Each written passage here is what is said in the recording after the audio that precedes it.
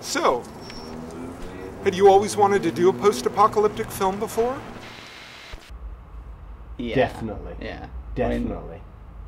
the beauty of post-apocalyptic films is, especially for low budget, is the fact that you've you've got this scenario where you've got minimal yes. people Although and situations to deal with. it does add its complications as well, though.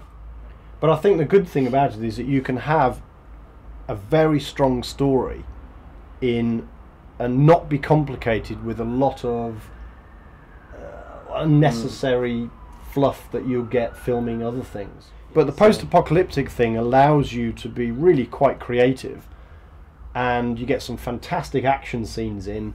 You get some guns and a bit of don't you? explosions and uh, Yeah. you know, a bit of death, bit of uh, death. a bit of rotting, Yeah. and all of that sort of thing.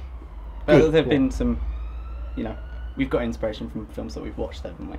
Yeah, absolutely. Big fan of things like I Am Legend, Book of Eli. uh, Book of Eli. Love Book of The Road. Eli. That- the that- Road. That's yeah. Lots of people actually. A Uh, lot of of people, people have said- said, reminds me of Of ro- the- of the road, and yeah. we certainly didn't go out with No, that in mind. well, I haven't actually seen it, Haven't you? so no.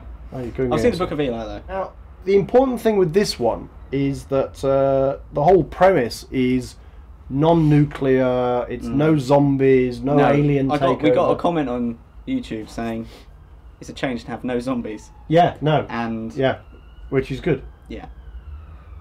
I don't think we could have dealt with zombies. No, Not not this time round. we'll have to make a separate zombie movie. Mm.